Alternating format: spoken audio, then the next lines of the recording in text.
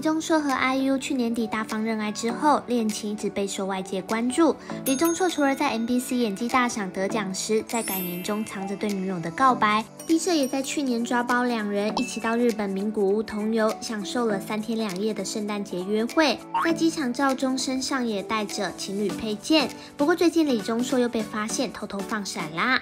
四号男韩潮牌设计师高泰荣在线动抛出和李钟硕的合照，照片中他戴着口罩和帽子，眼尖的网友立刻发现这顶帽子是 IU 的演唱会周边商品。去年 IU 在九月首度站上首尔奥林匹克主竞技场，当时推出的两款棒球帽，其中一顶就在李钟硕头上，而李钟硕那时候也曾经被捕捉到默默在台下支持女友，如今又大方放闪，支持的粉丝看到后也表示，看来两人有好好好爱着呢不愧是真情侣。消息一出也登上微博热搜。不过有网友不满表示男方为什么要一直蹭热度？